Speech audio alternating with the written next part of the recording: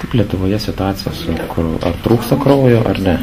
Nu, kraujo niekada nebūna per daug. Niekada nebūna per daug. Per daug, nes ypatingai per išeiginės dienas, kadangi mes nedirbam šeštąjį sekmadienį, būna akcijų tokių, kada ateinantį sekmadienį kviečiam visus į maratoną Vilniaus, bus Gedimino prospekte, kraujo paimsim. Tai, tai būna šeštąjį sekmadienį, pažiūrės padarome tokias akcijas, kai jau yra galimybė.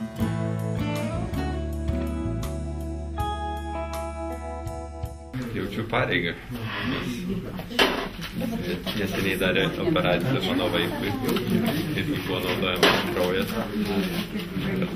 Mama kelis kartus operavo ir aš tiesiog gražinu tą skolą, kurią jaučiu, kad turiu prieš, prieš visuomenę. Ne pirmą kartą duodat kraują? Jau antrą kartą. Šiek tiek baisoka, nes pirmą kartą vos nenualpau. Tai tikiuosi šį kartą bus lengviau. Šiek tiek pirštas skaudžiau, kažkaip man.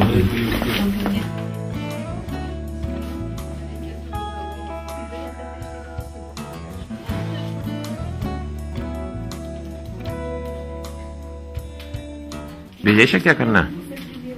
Jo. Aišku, duodi nemokamai, ar ne? Kodėl? Tai kad e, jeigu, ta prasme, neduosiu aš, tai tokiu atveju aš duodu pavyzdį aplinkui esančiams žmonėms. Ir aš norėčiau, kad iš tikrųjų, jeigu man nutiktų nelaimė, kad aš turėčiau tokią galimybę turėti kraują.